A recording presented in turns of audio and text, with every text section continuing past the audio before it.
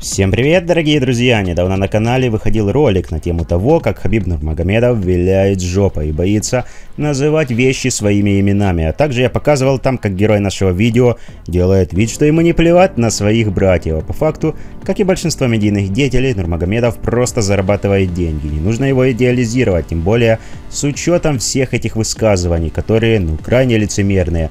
Подробнее опять-таки смотрите в моем предыдущем видео, и с момента публикации этого ролика очень много интересной информации появилось, как касательно самого Хабиба, так и про происходящее в Дагестане в целом. Например, стало известно, что один из участников теракта был сыном главы региона, которого батя в свое время даже отмазал. Ну и также появилась новость о том, что в зале Хабиба проводят обыски. В ходе в здании школы стоят около двух десятков вооруженных сотрудников в камуфляже и спецтехника. Предварительно там могут проходить оперативные мероприятия по делу о теракте в Дагестане. Один из боевиков, Гаджимурат Кахиров, был воспитанником этой школы и членом бойцовского клуба Хабиба Нурмагомедова. Вчера вечером заключили под стражу шестого члена группировки религиозных фанатиков, которые атаковали церкви и синагоги, расстреляли полицейских и убили священника 23 июня в Махачкале и Дербенте. Предварительно это младший брат Гаджи Мурада. Он мог быть одним из тех, кто напал на христиан и иудеев в Дербенте, но в последний момент не приехал в точку сбора террористов. А я напомню вам, что Хабиб прямо не признавался в том, что один из террористов был воспитанником его школы. Вернее говоря, он сказал как-то размазанно, сказал, ну пару тренировок провел у нас, но воспитанником школы никакой не является. Видно, что э, вот эти все моменты приписывают определенному спорту или определенному залу, да, так скажем, э, заходить в монастырь и убивать человека э, только за то, что он исповедует другую религию, разве это нужно какое-то осуждение? Когда волна общественного порицания достигла пика, Нурмагомедов дал свой комментарий. Он не воспитанник нашей школы, это абсолютная чушь, это неправда. Да, он у нас тренировался какое-то время. И это время даже полгода не прошло, приводит видеоагентство Раптли слово спортсмена. Ну и учитывая всю эту ситуацию и какой хейт свалился на самого Нурмагомедова, есть очень большая вероятность, что зал его закроют. И, в принципе, есть вероятность, что вообще на него свалят очень много обвинений, очень много хейта будет в его адрес. Да и в медийном плане Хабиба очень сильно придавит. Давайте выстроим логическую цепочку. Главу Дагестана маловероятно, что закроет, я практически в этом уверен. Максимум отстранят или поместят под домашний арест. А виновные по-любому нужны, по-любому нужно вкинуть что-то общественности, чтобы народ успокоился. Да, там они задержали некоторых других членов группировки и, возможно, еще кого-то найдут. И, в принципе, им нужно сделать такую вот красивую картинку. Мол, правосудие восторжествовало, все, кто участвовал в теракте, убиты. А нужно, чтобы кто-то давал показания и сознавался в содеянном. Ну и как в случае с Крокус-Сити, во всем будет виновата Украина или на худой конец США. Про ИГИЛ пропаганда боится говорить. Перевернут они все там в том зале, даже если ничего не найдут, но все равно скажут, что нашли.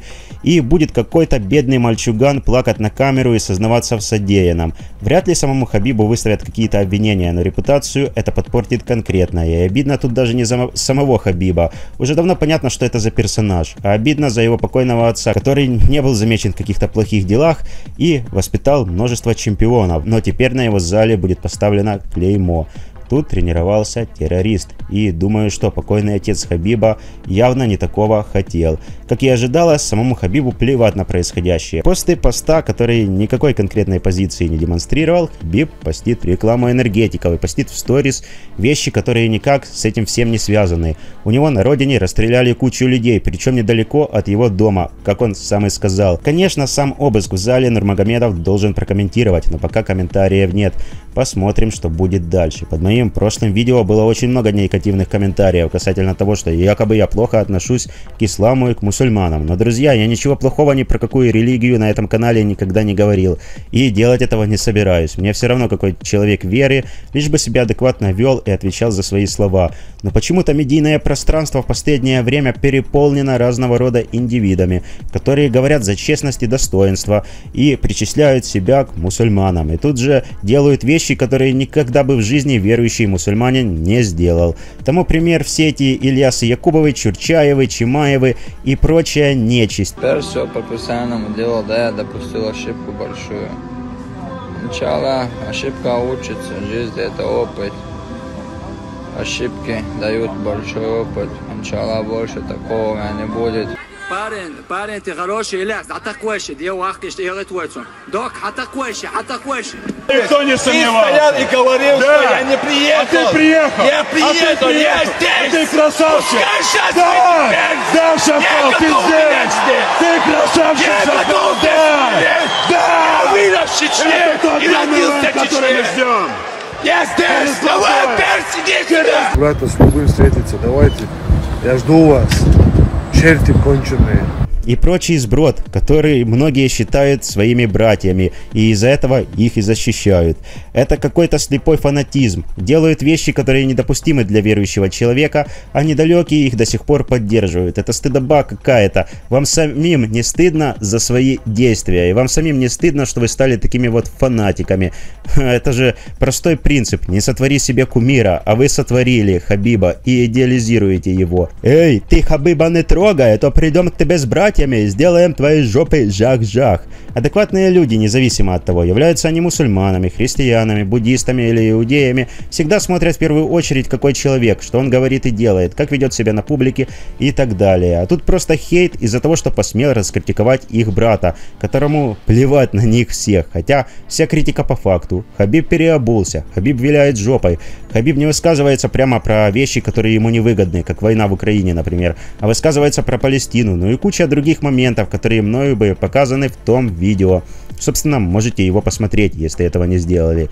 А на этом я вынужден попрощаться с вами. Став этому ролику свой огромный вентилятор. Друзья, кто не лайкнет, тот Ильяс Якубов. Так что не лайкайте. И не забывай писать, что думаешь обо всем этом. Всем пока, до новых встреч, увидимся.